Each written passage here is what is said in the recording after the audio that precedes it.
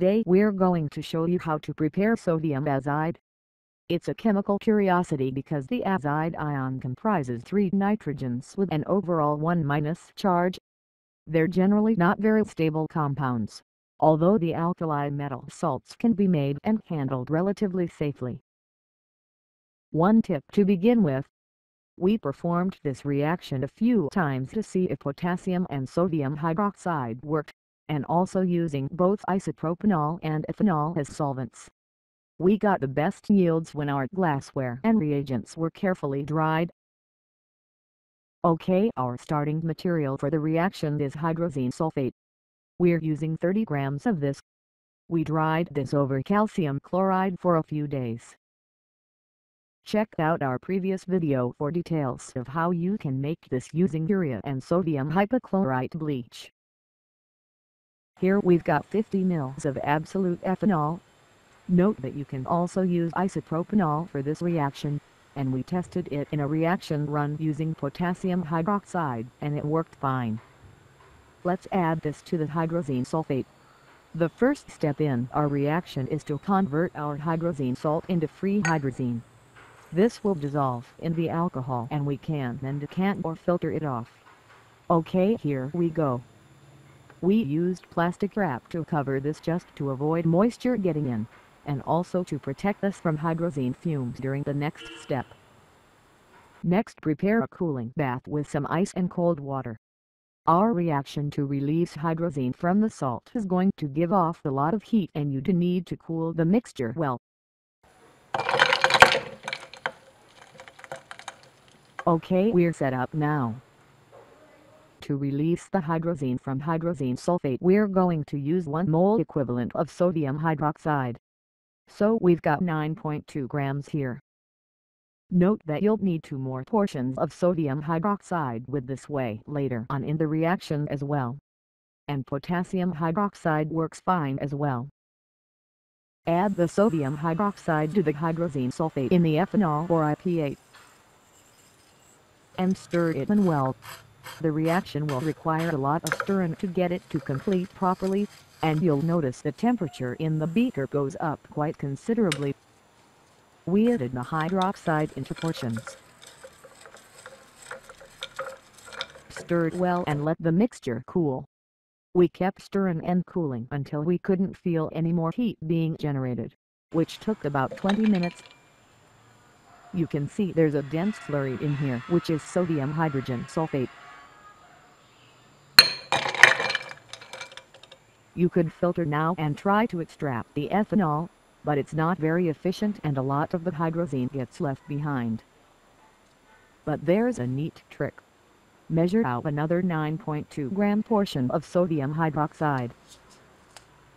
And with the mixture sitting in the ice bath, add this to the mixture and then stir and well again. Some more heat will be generated.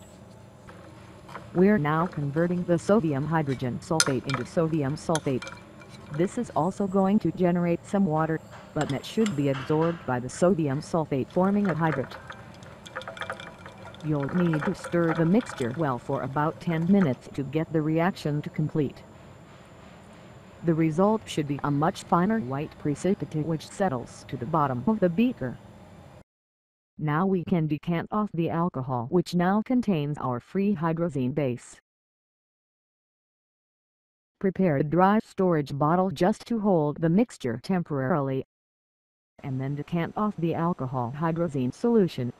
Take care not to breathe in any fumes from this because hydrazine is highly toxic.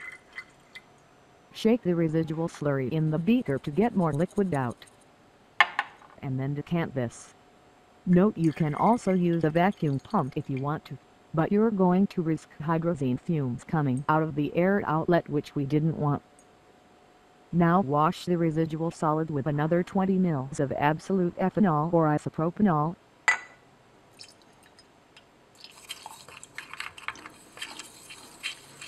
And then decant the liquid again.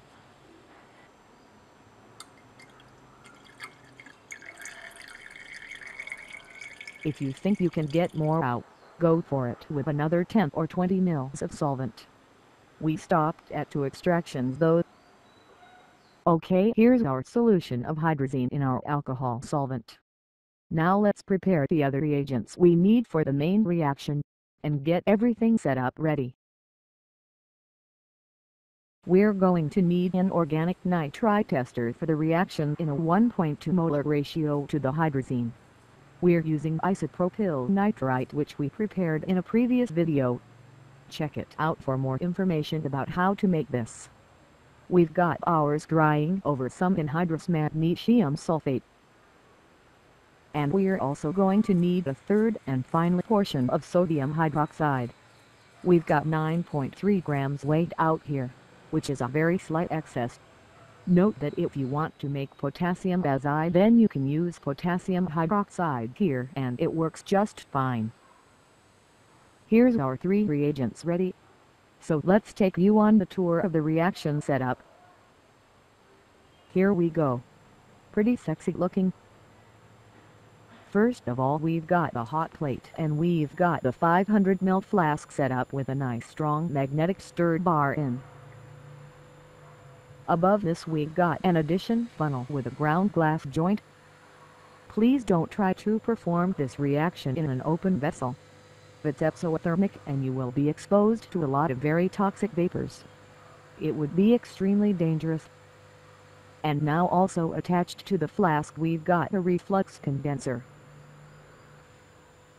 This has cold water running through it, cooled by ice hydrazine and isopropyl nitrite are very volatile and so it's important to use cold water here. Okay, first thing we're going to do is add the alcoholic hydrazine solution we prepared.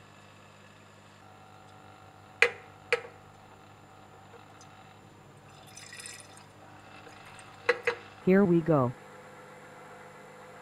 And now we add the solid sodium hydroxide. Close the apparatus up and now stir vigorously to get the hydroxide to dissolve. This will take a few minutes.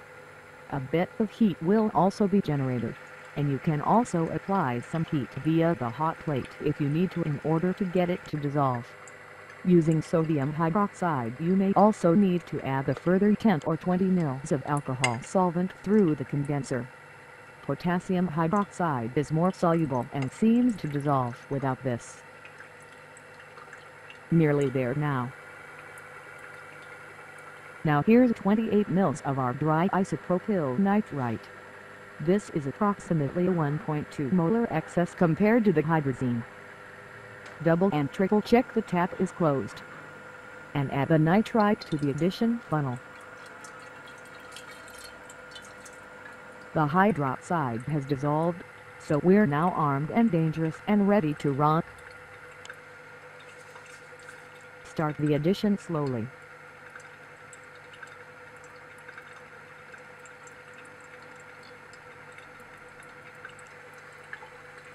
White fumes will appear in the apparatus, and the mixture will start to get hot.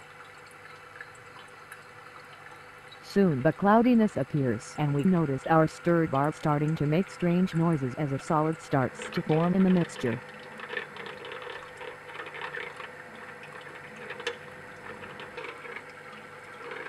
Soon the mixture starts to reflux with the heat produced.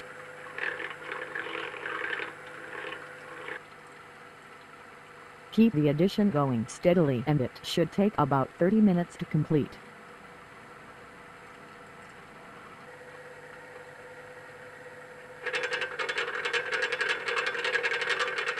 Watch your condenser. If you see white wisps of smoke, then get your ventilation going because you've got hydrazine escaping. The cold water and an efficient condenser worked well in our case.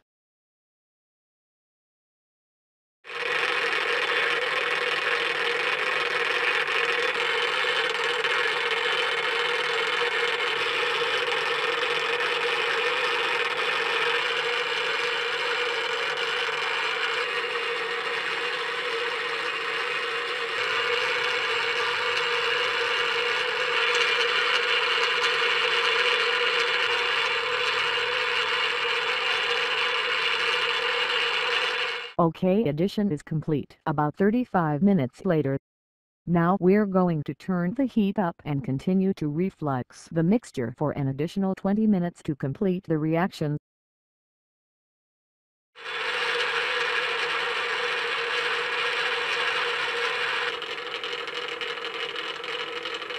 At the end of this time the white smoke has gone and the mixture is thick with solid product. Allow the reaction mixture to cool, then dismantle the apparatus, and then chill the mixture down to fridge temperature in order to ensure complete precipitation of the sodium azide. And now set up to filter.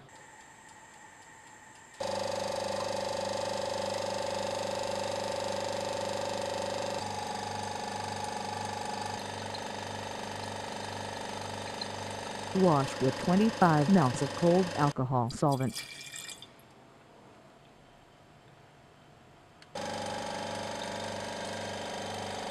And dry thoroughly for about 20 minutes breaking up the fluffy white powder. Here our product. Pure white fluffy dry powdered sodium azide. We collected 12.8 grams which works out to be a spectacular 85% yield on the starting hydrazine sulfate. Don't let looks deceive you though. This fluffy white powder is a deadly poison and you should take as much care with this as you would with cyanide salts.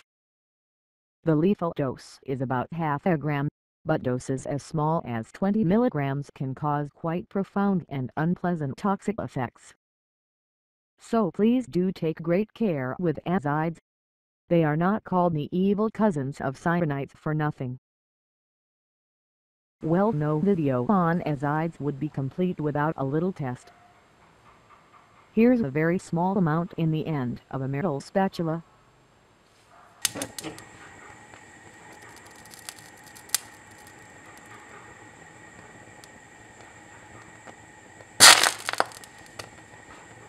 That's a pretty convincing result. Azides decompose violently on heating into nitrogen gas and metallic sodium metal. Heavy metal azides such as lead and mercury are high explosives and used as detonators. We won't be making those. One other thing to be careful of with azides. If they contact acids then hydrazoic acid will be produced. This is an extremely poisonous and volatile compound and even in tiny quantities will give you a migraine headache for hours on end. It's also an extremely dangerous explosive. Well we're not totally sure what we're going to do with our sodium azide. It's a chemical curiosity for sure. Azides are also supernucleophiles and very useful in some organic reactions but organic azides are very dangerous and until we have a procedure that we're 100% happy with we won't be trying these reactions out. The nucleophilic properties mean that they can react quite easily with chlorinated solvents to produce dangerously explosive substances.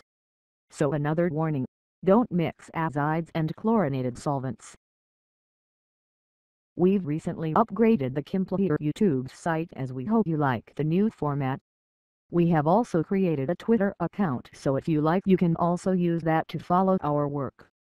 We'll tweet when we have new videos out but also other stuff about what we're doing and some interesting information that's not in the videos. Look out for our next video, where we'll tell you all about our voluntary donation system we're setting up. If this is successful then we'll not only be able to buy a beer or two to celebrate that someone loves us, but we'll also be able to focus on some research projects. We'll explain what they are too. We think you're going to like them. Thanks for watching and stay tuned.